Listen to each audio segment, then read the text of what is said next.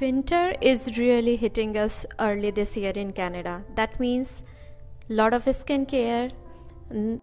Hi guys, welcome back to my channel. So in today's video, I'm sharing with you all my winter skincare routine.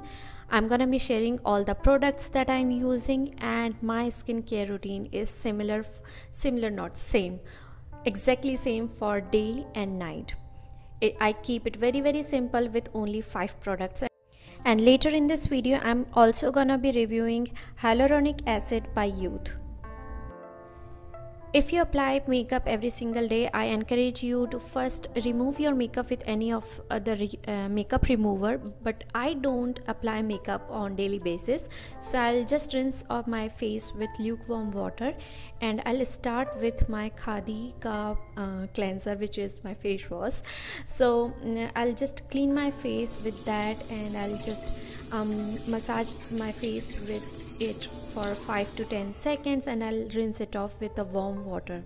Why I'm using warm water is just to open up the pores so that whatever product I'm gonna apply later is gonna soak up all by my skin and use fresh towel always when my um, skin is very dry i'm gonna hydrate it with bio oil.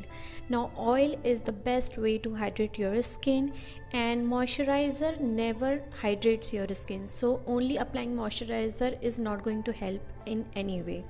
So uh, i'll just take few drops and i'll rub it between my fingers so it is a little bit warm and then i'll apply on my face and neck properly now before applying my next product i'm gonna wait for 15 to 20 seconds so and to lock that hydration which i got from my oil i'm got hyaluronic acid plus which was sent by Yeouth to me.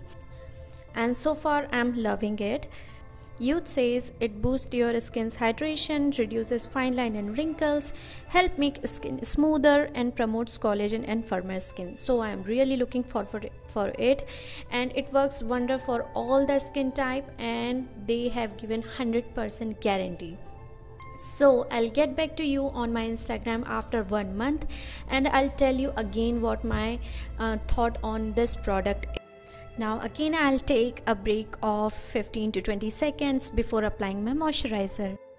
And now it's time to put on some moisturizer and for that I'm gonna use Cocoa Radiant from Vaseline.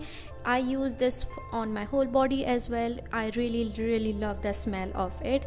Again I'm gonna massage little bit only, not too much, little bit with the moisturizer and here I'm laughing even Nirvi was cracking a lot of jokes and she was roaming over here and there. So it was so much fun filming with these guys. But last thing is left and that is lip balm.